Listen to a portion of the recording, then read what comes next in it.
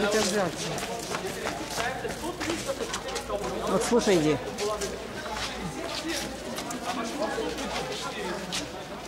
Это называется симметрично. Как Бог Амун-Ра создал мир, они также строили свои храмы. Бог Амун-Ра создал мир, восток, город Нью. Восход и заката солнца. Восток запад. Также так древние считали. Поэтому они считали, что этот храм, он был символом всего мира. Каждая часть 64 колонны. Зал построен симметрично. Все части, они одной формы. Самый высокий колонии, колонии центрального коридора, где мы стоим сейчас.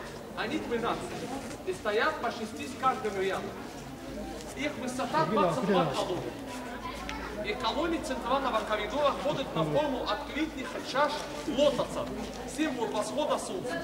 А внутренние комнаты, смотрите, внутренние колонии, во-первых, они ниже ростом неба и ходят на форму закрытых чаш лотоса. А, точно. Он еще восхода 1637 это год. восход, это колонный зал, это тоже архив или библиотека.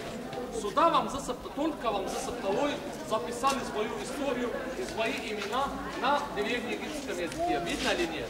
Например, учите.